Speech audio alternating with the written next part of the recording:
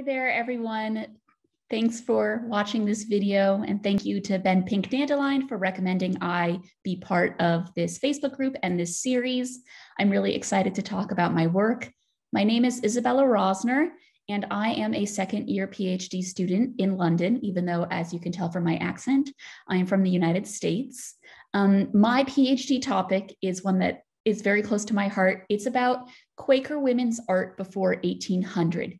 And that entails focusing on two time periods, areas, and types of art. I'm looking at 17th century needlework made by Quaker girls in and around London from about 1660 to 1700. And then I am looking at Philadelphia wax and shellwork shadow boxes made between approximately 1745 and 1770. And I will show images of both of those things in just a few minutes. Um, this first video will basically be an overview of my research and kind of an explanation as to why I'm undertaking this research. But basically, the thesis of all of my work, uh, all of this project is the idea that even though Quakers, including Quaker leaders, were promoting plainness from the very beginning of Quakerism from approximately the 1650s onwards, Quaker women's art up until about 1800 was very much not plain. It was incredibly decorative and was actually, they were actually some of the finest examples of their respective media to come out of both the United Kingdom and the United States. And I'm working to understand why and how that contradiction was allowed, why and how, even though Quakers were so um, devoted to plainness in terms of dress, behavior, language, and outlook, their needle art and their other forms of decorative art were so incredibly opulent. So I'll start off by um, speaking a little bit about how I came to this topic. So a few years ago, I was working at a museum called Colonial Williamsburg, which is in Williamsburg, Virginia, and it's the United States' largest living history museum. It's essentially a seventh, no, an 18th century town, and associated with it is uh, are two museums. And I was working for the uh, curator of textiles, and when there, um, somebody emailed my boss asking about the museum's holdings of shell work. I had never really heard of this, I didn't know anything about it, but she had me pull out the pieces and do some research on them, and I'll show them to you right now. So these, once I can share my screen, yes. Okay, hopefully that is working. Yes, I think it is. Once I, do, do, do, do, sorry, it's taking a long time to share. Yes. No, not that yet. Okay. So these are the two shadow boxes that are in Colonial Williamsburg's collection. I call them shadow boxes because they are essentially somewhat large scale wooden boxes. They're kind of like dioramas, and they're basically made out of wood with a glass panel in front, and they're full of literal shells and pieces of wax. So these two examples are what is in Colonial Williamsburg's collection. Uh, the first was made by Rebecca Evans around 1745. And as you can see, it's kind of like a lovely landscape pastoral scene. And the one on the right, the second one that Colonial Williamsburg has is by Abigail Harrison, made in 1766. And it's a lot less full of shells. It has much more wax and it's actually a biblical scene. When I saw these two things, I was immediately very intrigued because they're beautiful. But doing some research on them led me to know and understand that they were actually both made by Quaker women.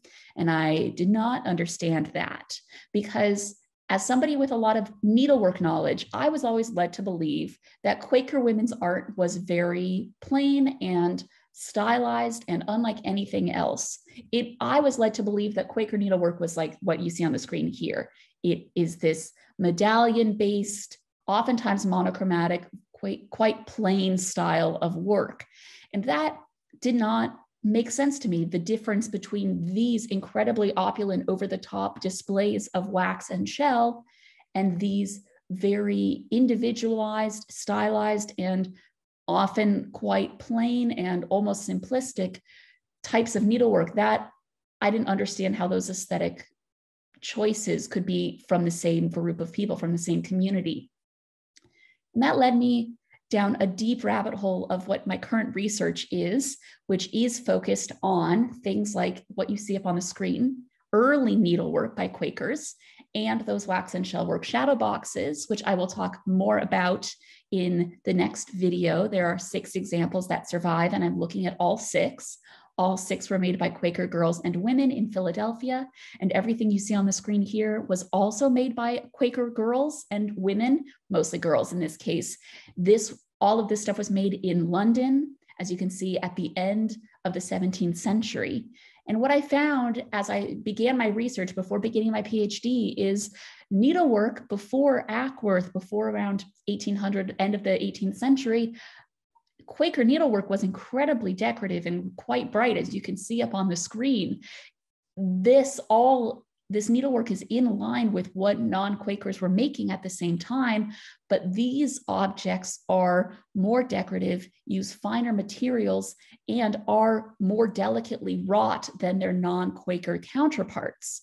And I don't, I walked into this project not really understanding how this change came about, why there was a change, why there was that contradiction between plainness and in intense amount of opulence. I still haven't found any answers, frustratingly, because there is very little information about these objects in official Quaker documentation.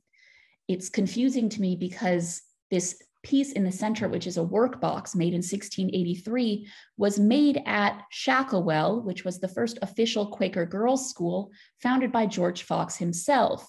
He visited the school often, and he was the one who chose the teachers to lead the school.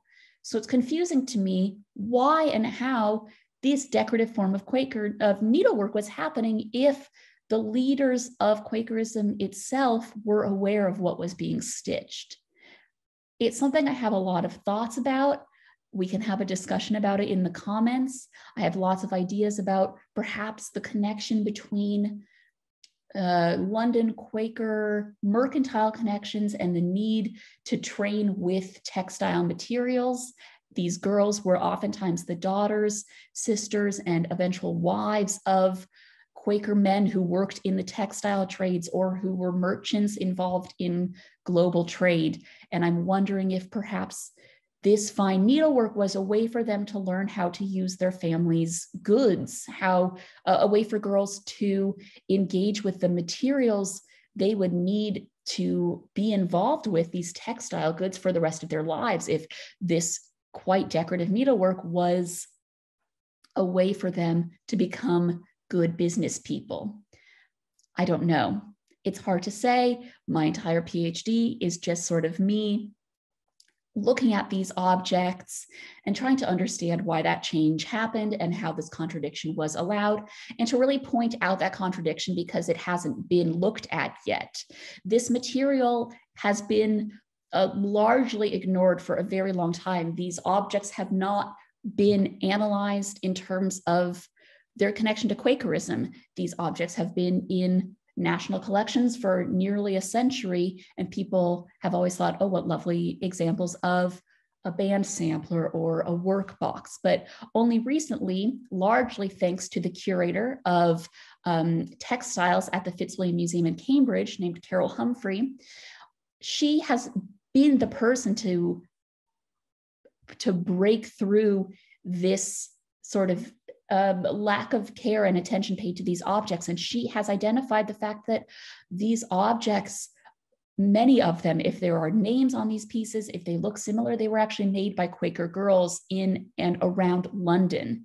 So this research is, is very new, it's very exciting, and these objects have obviously been around for more than 350 years, but only now are people starting to connect the fact that they're exceptional examples of what they are and that they were actually made by Quaker girls and what that means for Quakerism, for material culture generally, for 17th century girls' education. There's a lot to think about there.